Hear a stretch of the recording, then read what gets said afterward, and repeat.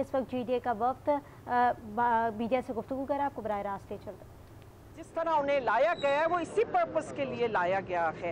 अगर उनकी मौजूदगी में होंगे तो यकीनन वो डाउट्स पैदा करेंगे एक इलेक्शन के फेयर और ट्रांसपेरेंट के हवाले से ये बताइएगा कि ताकत का सर चश्मा तो अवाम है। लेकिन उसके बाद ताकत के दो सर चश्मे, एक आर्मी चीफ है जो कि दो दिन पहले यहाँ आया भी था और एक चीफ जस्टिस ऑफ़ पाकिस्तान है। क्या उनसे आप मुतालबा नहीं करेंगे? क्या इन दिनों से तो तेल नहीं निकलेगा? इनकी, इनके बारे में जी जीडीए ये कह चुका है कि ये सीएम हाउस नहीं है पीपुल्स सेक्रेटरी है। तो पीपुल्स सेक्रेटरी तो आपको कोई शफा नहीं दे सकता।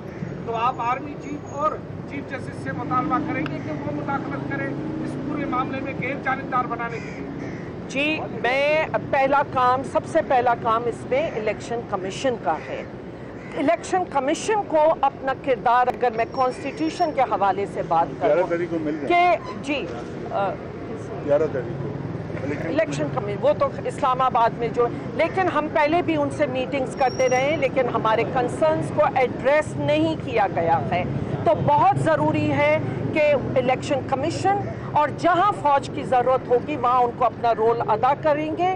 ज़ाहिर है कि अगर आपको सिक्योरिटी चाहिए और जो डंडे के ज़ोर पे जैसे इलेक्शनें छीनी जाती रही हैं कि ये सब चीज़ों के लिए। उसके अलावा कोर्टों में भी हम गए हैं। हम लोकल बॉडीज़ के हवाले से भी गए थे। तो यकीनन कि जो भी सिस्टम है, अगर ये इस वक्त जो न्यू चीफ जस्टिस आए हैं कि उनको चाहिए कि जो इंसाफ आपने लोगों के दरवाज़ों तक पहुँचाना है कि वो इंश्योर करें कि जो भी पिटिशन जो भी हमारे केसेस होंगे कि उसके हवाले से। लेकिन ये काम सारा अभी इलेक्शन कमीशन का है।